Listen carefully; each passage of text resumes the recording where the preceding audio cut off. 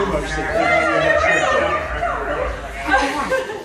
goes too soon, doesn't it?